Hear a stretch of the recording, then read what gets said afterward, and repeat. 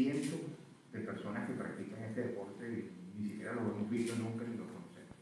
Con tantas o más condiciones que lo que estamos ahorita haciendo sur, federado, no federado.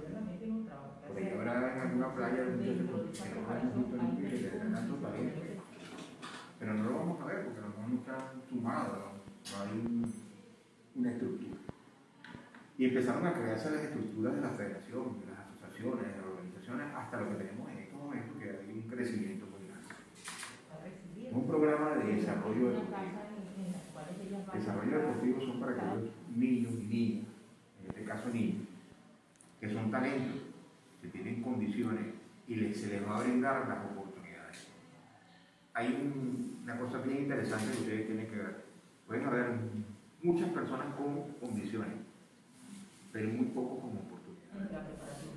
El que pueda lograr tener dentro de la esa preparación está y la oportunidad va a llegar donde está esta señorita, un poco más lejos, o donde está ella como punto de partida.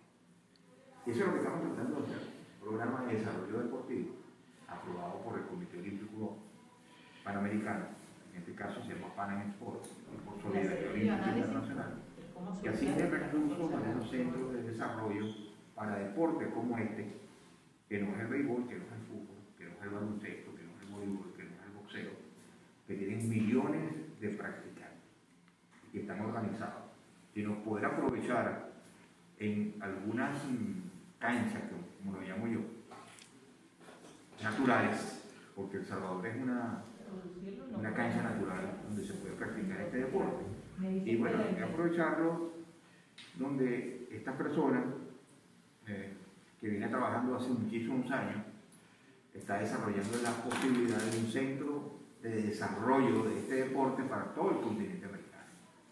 Allí irán las niñas y niños con mayor actitud.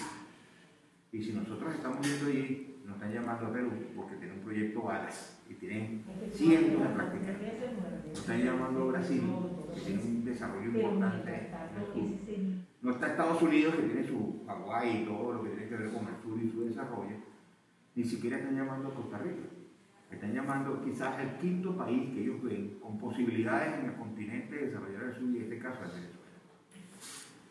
Eh, Rosani no va a desarrollo deportivo.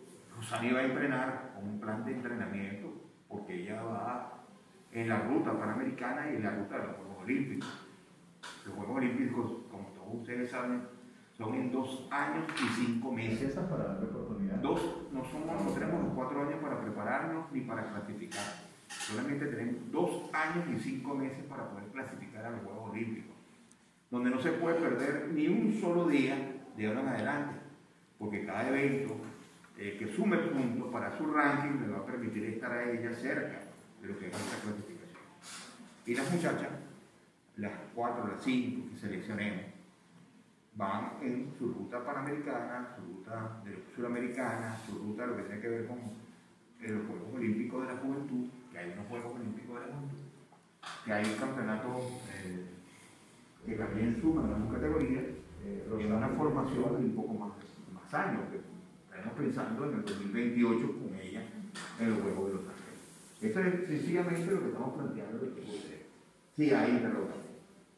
Por supuesto, es un centro, una casa que tiene habitaciones acumuladas, tendrá eh, condiciones diferentes que un hotel, tiene condiciones diferentes que un albergue cualquiera, tiene condiciones de comodidad en sus habitaciones, la temperatura del agua, la permanente, la, la individualidad, privacidad de sus baños, tiene que tener una alimentación balanceada, por supuesto nosotros vamos a ver, mira, por menú que tenemos durante todos 15 días, 10 días, 9 días, 20 días.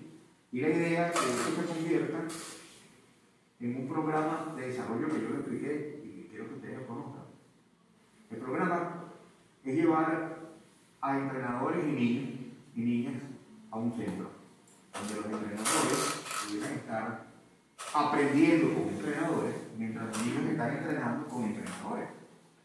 Al final de esa jornada, estos entrenadores que son nuestros, que están allí, van a trabajar con nuestros niños y con los otros niños que tienen existente. Y cuando estén en nuestro país, el entrenador debe multiplicar sus conocimientos a todos los entrenadores y a todos los niños en un programa de desarrollo que finaliza con una competencia con estos niños. Hacia eso vamos en los programas de desarrollo de más Nosotros como Comité Olímpico tenemos la posibilidad de presentar programas de desarrollo. Este deporte es incipiente en el continente. Decíamos que teníamos que hacer un,